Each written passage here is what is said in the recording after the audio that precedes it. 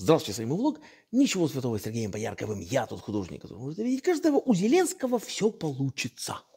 Он сможет, он добьется, он таки убьет украинскую экономику, несмотря ни на какую помощь союзников, то есть ни на какую гуманитарную, военную, он уничтожит украинскую экономику в дым.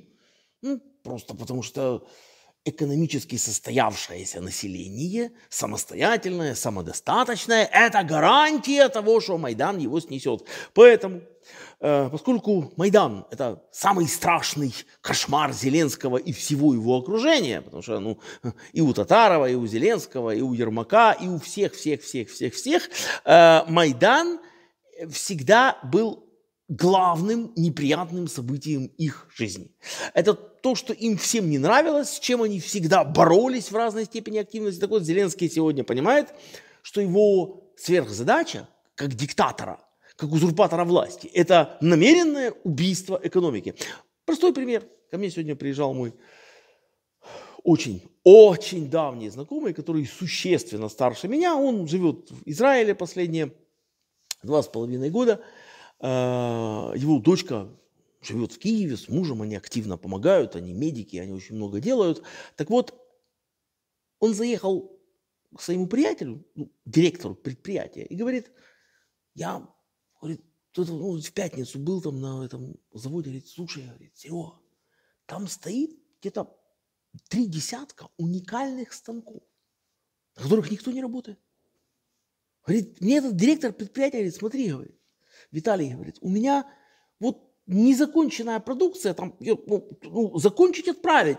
Говорит, я с болгарами подписал контракт, вот у меня на э, почти 500 тысяч долларов лежит продукт, который у меня контракт, все, мне его надо отправить, мне нечем, некем, точнее, чем есть, вот. Это все оборудование. Мы его купили, там, расплатились с кредитами, все уже наше. Работаем в плюс, платим налоги. Говорит, у меня всех Говорит, вот эту часть у меня просто забрали по броне на другое предприятие оборонное, не предупредив заранее. Мы, говорит, хоть я, говорит, уже заплатил сверхурочные, они бы у меня в выходные выходили, закончили бы. Говорит, а часть просто замели. Кто-то уже на фронте, кто-то сейчас в лагерях, говорит, мне, говорит, просто уничтожили бизнес, который платил налоги. Со мной никто не советовался. Со мной никто не согласовал, никто вообще не предложил. Сказал, слушай, чувак, может ты как-то по-быстрому что-то придумаешь, вырулишь. У нас по плану вот там через месяц-два забрать этих, потом через три месяца этих. Вот через месяц мы вот этих, ты как-то что-то замени, ну, чтобы ты как-то обернулся, чтобы все-таки выкрутился и заплатил таки нам налоги. Политика Зеленского простая. Убить предприятие, чтобы оно вообще налоги не платило, и мы еще, чтобы выглядели идиотами, безответственными перед нашими западными, ну как ни крути, союзниками. Потому что если заказали продукцию в Украине, наши партнеры европейские, а продукция не пришла, э, как вы думаете, они дальше будут заказывать?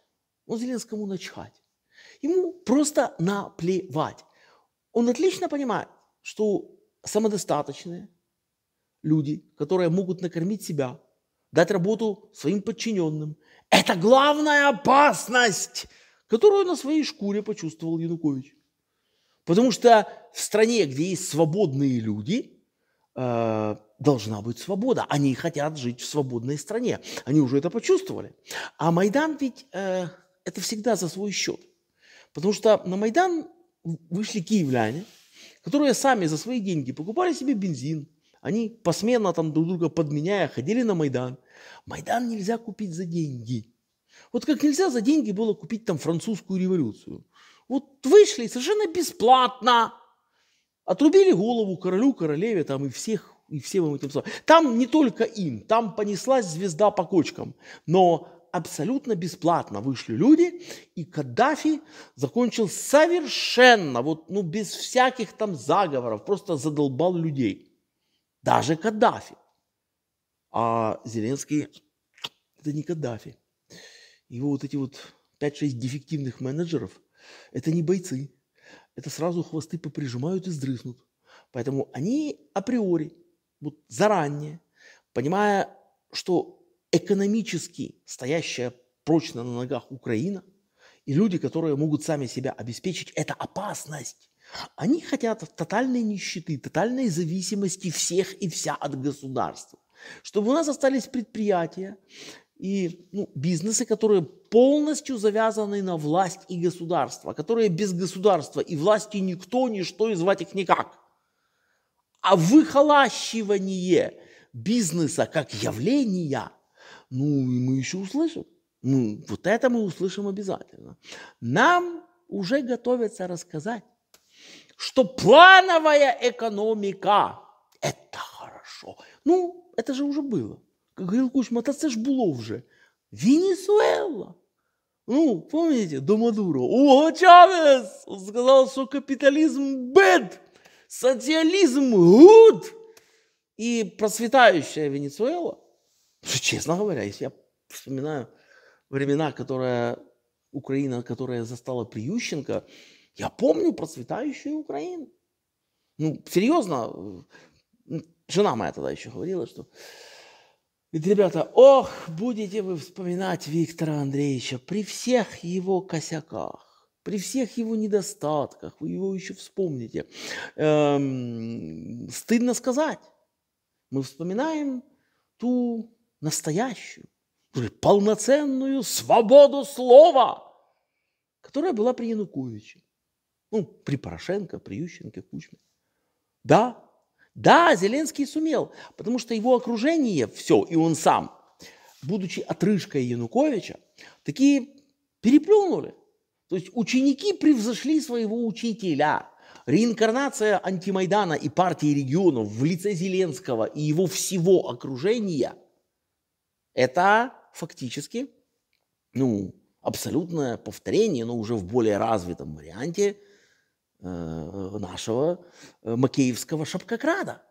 Да, наш шапкокрад, он сейчас сидит э, в Подмосковье, кусает локти, нервно курит в сторонке и, напиваясь регулярно, все время звонит Азару, слышишь, Яныч, ну ты посмотри, ну, ну слушай, так можно ж было вообще так, мы ж с тобой лохи провтыкали, можно ж было голыми руками, чисто, что ж мы парились. Эти не парятся. Эти приняли решение на утопление украинской экономики. То, что они творят, то, что они делают, то, как работает ТЦК, э, какие законы принимает Верховная Рада, значит, принято решение на высочайшем уровне, что украинская экономика выжить не должна. То есть они решили так, поскольку нам западные партнеры все равно будут помогать, какие-то копейки пенсионеры все-таки получать будут, даже если мы уничтожим бизнес, ну, надеемся, выживем, думает Зеленский. А потом так где-то на подкорке у него такое, знаете, такое чувство, ага, разница, да, у меня, говорит, в голове, в голове-то у меня война закончилась, да, и каждый из вас президент. Вот, поэтому напишите, что вы думаете по этому поводу. Подпишитесь на мой канал, лайки, комментарии, репосты, а победа, в чем я не сомневаюсь, как и вы, обязательно будет за нами, потому что за каждым из нас не заржавеет.